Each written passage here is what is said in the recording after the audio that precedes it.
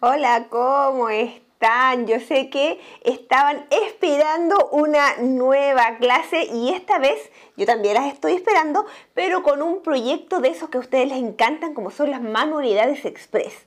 Hoy vamos a trabajar con nuevos personajes que se incorporan a esta gran familia de personajes navideños de Casa Puccini. Tenemos a Jacinto y a Julieta Nomo, a estos dos nuevos personajes que nos van a acompañar durante esta nueva temporada navideña 2023. Vamos a trabajar directamente ahora con Jacinto y vamos a dejar a Julieta, que es casi igual, pero para que ustedes lo tengan con más detalle para la próxima clase. Los moldes, si te gustó este proyecto, los vas a encontrar en Facebook Casa Puccini, álbum de fotos Moldes Navidad 2023. Y por supuesto, si tú me sigues a través de este canal de YouTube Casa Puccini, ve solamente la caja de información de este video, el que tú estás viendo, y vas a encontrar el enlace para moldes en PDF y en ambos casos los imprimes en tamaño carta, que es el tamaño real. Lo primero que vamos a hacer, como siempre cuando trabajamos con muñecos, es comenzar con el cuerpo. En este caso, yo voy a combinar Polar con pañolensi y quise darle a Jacinto un toque distinto con este Polar que si tú te fijas tiene gnomos en su estampado. Acá tiene un gnomo, tiene un muñeco de nieve, tiene regalitos, tiene estrellas que vamos a combinar esas mismas estrellas con los botones que vamos a poner en los brazos, también con estrellas verdes pero si tú no tienes exactamente este polar, por supuesto puedes ocupar el material que tú tengas, incluso también puede ser pañolensi sin ningún problema, estampado o liso, o polar estampado o liso, o tú personalizarlo. Lo primero que vamos a hacer con esto va a ser afirmar, por supuesto, las dos partes, delantero y trasero, y coser contorno, y cuando lleguemos al centro, ponemos inmediatamente una madera de aproximadamente de 6 u 8 milímetros de diámetro de aproximadamente unos 35 centímetros de largo. Y continuamos cosiendo con punto festón hasta el otro extremo, dejando la parte de abajo abierta. Punto festón, si tú no sabes hacerlo, busca en las listas de reproducción tips y consejos útiles cómo hacer el punto festón. Acá arriba también va a aparecer el enlace y después también aparece en la caja de información. Así te va a quedar. ¿Cómo aparece la caja de información? Haciendo clic sobre el nombre de este mismo video. De esta manera nos va a quedar. Yo ya introduje la madera para que sea mucho más fácil después trabajar. Cuando tenemos esto de esta manera, nosotros vamos a rellenar. Siempre ten en cuenta que el polar tiende a ceder un poco más que el pañolense estampado.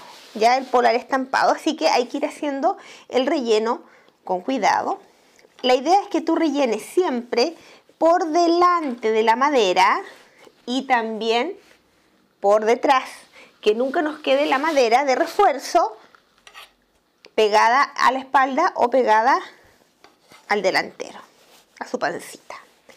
Y de esta manera nosotros vamos a hacer un relleno firme, ¿ves? Siempre preocupándonos que nos quede las curvas especialmente y las puntas bien rellenas. De esta manera tú vas a rellenar lo que más puedas y vas a agregar también una bolsita con piedrecilla limpia. Limpia, es súper importante. Ojalá no en una bolsa plástica, sino que en una bolsita de tela o en un trocito de tela que tú puedas amarrar. ¿Por qué? Porque las bolsas plásticas se muelen y después nos queda por dentro toda la piedrecilla suelta. Nunca usar ni garbanzos, ni lentejas, ni arroz, ¿cierto?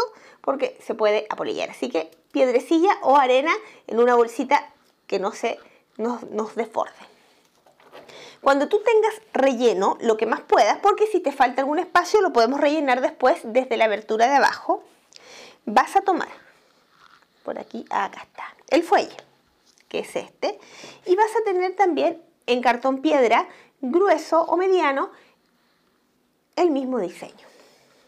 ¿Cómo vamos a poner el fuelle? Recuerda que tienes que rellenar bien. Lo doblamos a la mitad y ponemos centro con costura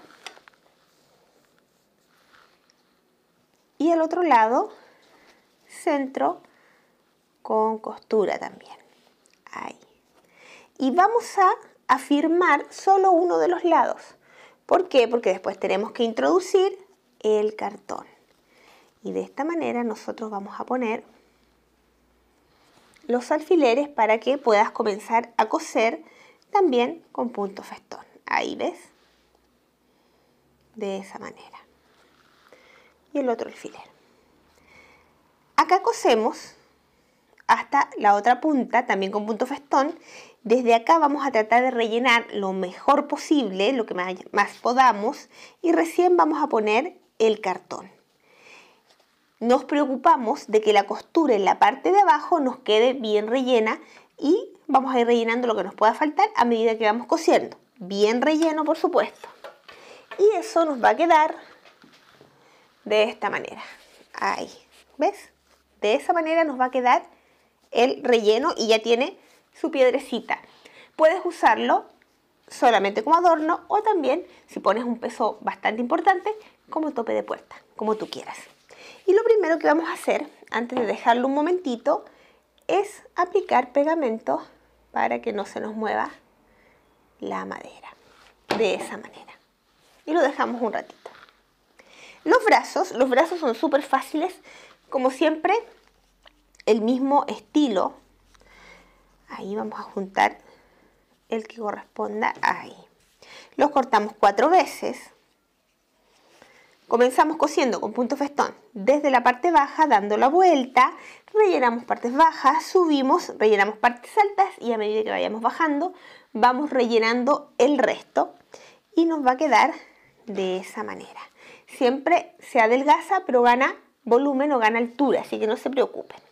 Las mangas también las vamos a cortar cuatro veces. Ahí están las manguitas cuatro veces las vamos a cortar y vamos a coser con punto festón. Si no saben hacer el punto festón, un pespunte o punto, punto hilván o también puede ser puntada atrás, no hay problema. Contorno completo, dejando abierta la parte de abajo. Y nos va a quedar de esta manera, así. Practiquen el punto festón todo el tiempo que sea necesario. Y ya tengo lista una manga entonces nos preocupamos de que queden los bracitos encontrados. Siempre con los deditos hacia arriba. Ahí. Y vamos a tener las dos manquitas. Y la vamos a adornar. Inmediatamente yo voy a usar estos pompones continuos que tienen dos colores. Pero lo que ustedes tengan. Si no encuentran ninguna pasamanería o pompón o blondita que ustedes le quieran poner, hacen punto festón en la parte baja, dejando también abierto, pero no se deja sin costura, ¿ya? Siempre con costura o con decoración. Ahí al otro lado. De esa manera y tratemos de hacer coincidir lo mejor posible, que no nos quede abierto y tampoco muy muy pasado. Ojalá lo mejor que se pueda ahí. Y de esa manera lo vamos a cerrar. Y ahí vamos a tener sus dos bracitos listos. ¿Con qué vamos a continuar? Con la nariz. La nariz es un óvalo que mide aproximadamente, tenemos 14 de largo con un ancho de aproximadamente 9,5 centímetros al que le vamos a hacer puntada envolvente por todo el contorno. También busca cómo hacer la puntada envolvente en tips y consejos útiles cómo hacer puntada envolvente para que lo practiques. La puntada envolvente lo bueno que tiene es que nos ayuda a que se vaya hacia el centro o se tienda a cerrar hacia adentro la costura. Lo rellenamos firme y nos va a quedar de esta manera. Nos preocupamos de rellenar especialmente estas partes y cuando cerremos atrás de tratar de ir cerrando de manera continua, que no nos quede muy tirante de un lado y más suelto del otro, para que no nos quede con bultos. Y hacemos puntadas cruzadas, ¿cierto? Para que nos quede más o menos parejo. Y ahí tenemos su nariz. Gorro. A ver, ¿cómo se va a hacer ese gorrito? Este es el gorro, que es distinto al de Julieta. Vamos a coser contorno completo, y la parte baja también va a ir con costura. Yo no le voy a poner ninguna pasamanería. Si tú vas a poner alguna decoración, puedes dejarlo así. Pero en este caso yo lo voy a dejar tal cual, así que hacemos punto festón también. Y para darle esas arruguitas, vamos a hacer pinzas. Yo aquí en la parte superior, si se fijan, le hice pinzas, acá también. ¿Cómo hacemos las pinzas? Lo vamos a hacer haciendo un pespunte. En este caso el pespunte va a ir desde más o menos unos 4 centímetros desde la orilla hacia arriba y hacemos un pespunte que sea más o menos de unos 2 centímetros para que la arruga quede bastante grande. Y vamos a, ¿ves? Yo lo tiro y me queda la arruguita, hacemos dos, más o menos a la misma altura, lo mejor que se pueda. Y rematamos por detrás.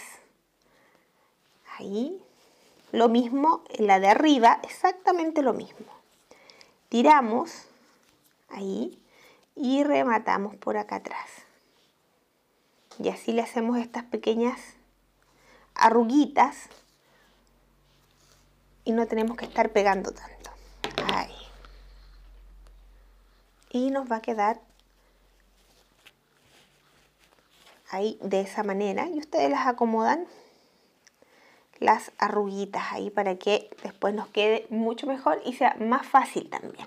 ¿Qué nos falta? La barba. Yo voy a ocupar un trocito de piel. Esta piel viene de esta manera, viene angostita, mide aproximadamente 10 centímetros y esto mide aproximadamente entre 22, 23, ahí dependiendo del largo que ustedes le quieran dar. Y esto nosotros lo vamos a pegar inmediatamente acá en el centro. Ahí.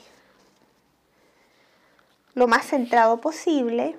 Importante pegarlo bien porque después vamos a pegar la nariz encima. Así que bien pegadito. Ahí. Ustedes se van a preocupar de que quede muy bien pegado. Yo a lo mejor lo voy a hacer un poquito más rápido por tiempo, pero ustedes lo van a pegar súper, súper bien para que no se nos mueva.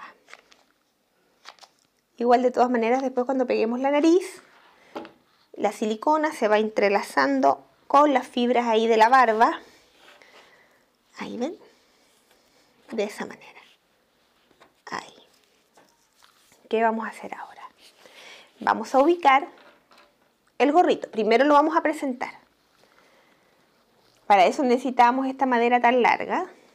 Y si se fijaron, el cuerpo también tiene esta forma como alargada y no tiene cuello, porque ellos no son sin cuellito, ¿cierto? Ahí. Lo vamos a presentar como nos tiene que ir quedando. Ahí. Tiramos hacia abajo. ¿Nos quedó bien? ¿Nos gustó cómo quedó? ¿Sí? Relleno. Suavecito nada más acá en el gorrito. Un poquito de relleno, muy suave. Si se fijan con la pinza en la parte superior, tiende a doblarse un poquito hacia adentro el gorro, hacia afuera, perdón. Ahí. De esa manera, pues, muy suavecito el relleno, no es duro. Y nuevamente, ahí peinamos. Nos quedó bien el gorrito, ¿cierto? Nos gustó cómo se veía. Entonces, ¿por qué estoy poniendo primero el gorro? Porque dependiendo de eso, donde tengo que poner los brazos. Los puedo poner muy arriba y después el gorrito nos va a quedar encima, ¿cierto? Y no queremos eso. Ahí. De esa manera. Y lo pegamos.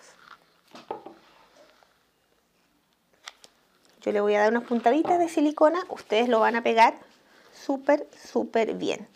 Traten de hacerle las pincitas ahí, que quede bien sujeta sus pincitas. Y aplicamos el pegamento. Ustedes lo dejan súper bien pegado, recuerden. Especialmente aquí, si es que vamos a poner la nariz.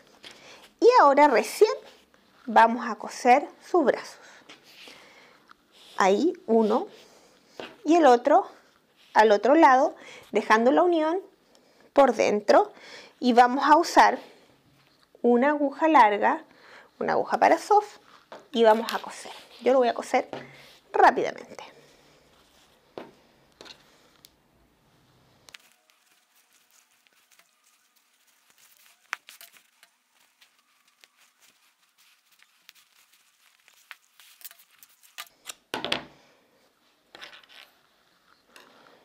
Muy bien, yo ya estoy terminando.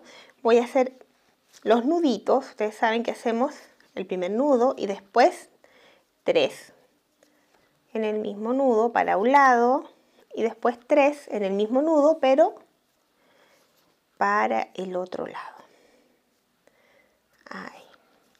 Y cortamos el excedente y tapamos inmediatamente las hendiduras, como yo les había dicho, con en este caso unos botones que tuviesen estrellas porque tenía estrellas también el polar, pero lo que ustedes tengan.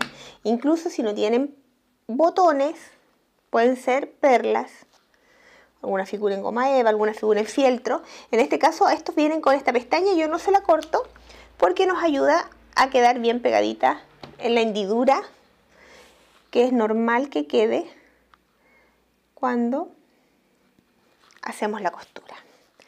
Ahora lo vamos a acostar un momento y vamos a poner ahí encima su nariz. Yo voy a poner un poquito más arriba de la piel para que tome también parte del gorrito y nos quede más firme. La altura va a quedar completamente distinta en, en, cada trabajo que ustedes hagan. Por ejemplo, él me va a quedar más alto que el que teníamos acá, ¿cierto? Que Jacinto que teníamos acá adelante. Ahí. De esa manera. Y vamos a presionar todo el tiempo que sea necesario, chiquillas. No lo apuren. La silicona tiene que volver a solidificarse, ¿cierto? Así que se va a demorar un poquito y se hace, bueno, ahora tenemos un poco más de frío, pero cuando hace calor se demora mucho más. Cuando lo tenemos en ese punto, ahora podemos decorar con lo que ustedes quieran. Yo lo voy a acostar un ratito y le voy a poner unas hojas de muérdago de los enfríos. Ustedes las pueden pegar ojalá con, con la lentejuela o el 6000 o el 7000 para que queden mucho mejor pegadas. Por tiempo, obviamente, yo lo voy a hacer con silicona caliente. Si ustedes lo hacen con silicona caliente, la pistola bien caliente, siempre esperando que se recargue en la cámara, ¿cierto? El, la silicona, que vuelva a tomar la temperatura necesaria y así pueda salir y así también nos va a durar mucho más la pistola de silicona y no la vamos a echar a perder. Ahí le vamos a poner las hojitas de muérdago. Y en su mano yo le voy a poner esta flor. Ahí. Flor del Inca. Poncetia también les dicen. Flor navideña o la flor que ustedes tengan. Se la ponen ahí en su manito. Esperan por supuesto que, que seque. Y ahí está. Jacinto terminado, manualidad express, fácil, rápida, económica para que puedas hacer muchas para que vendas, disfrutes o compartas también. Moldes, Facebook Casa Puccini, álbum de fotos, Moldes Navidad 2023 en este mismo canal de YouTube, ¿cierto? En el video, en la caja de información vas a encontrar el enlace para los moldes en PDF. Y no te olvides todas nuestras redes sociales.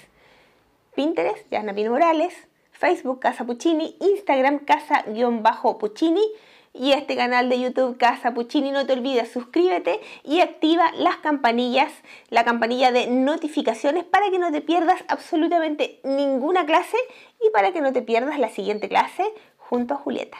Que estés muy bien y yo te espero en la otra clase con ella y Jacinto también. Que estés muy bien.